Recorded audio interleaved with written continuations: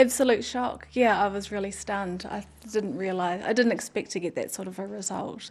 I think many Australians think that other people have health problems and they won't. You know, and so it, they, they just don't think about it.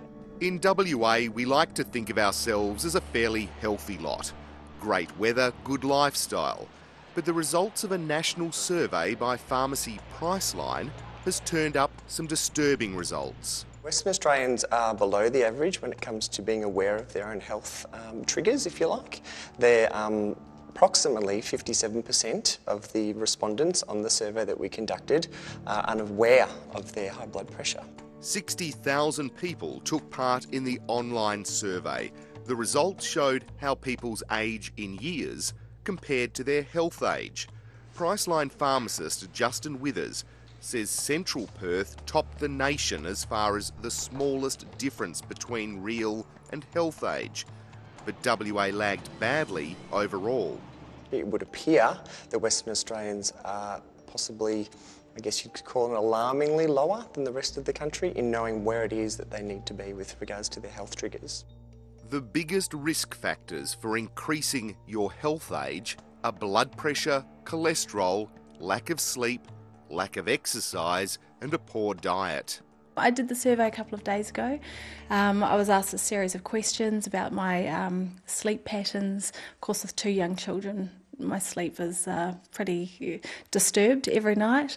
I don't get a lot of sleep. Um, I was also asked about my, uh, you know, the amount of fruit and vegetables I eat every day, fish, all that, you know, digging deep into the diet basically. 35 year old Perth mother of two, Kiri Tiapa, admits when it comes to diet and exercise, she falls behind. But she was stunned to see just how that translated into health age. The end result was that I have a health age of 50, which is a lot higher than my, my actual age. That was pretty depressing and a bit of a shock. 57% of West Australians who did the survey had no idea what their blood pressure was, and 73% didn't know their cholesterol level. I'm guilty of that as well. I have no idea what my blood pressure or cholesterol is. So um, I'm going to be booked in next week to have that all checked and have a general health checkup as well. They don't really understand the ramifications of high blood pressure and high uh, sugar levels and high cholesterol. Media giant Ita Buttrose is an ambassador for the Priceline Health Study. She says these simple tests can save lives. It's important to have your cholesterol and blood pressure checked because they can be indicators of health issues that you might face later on.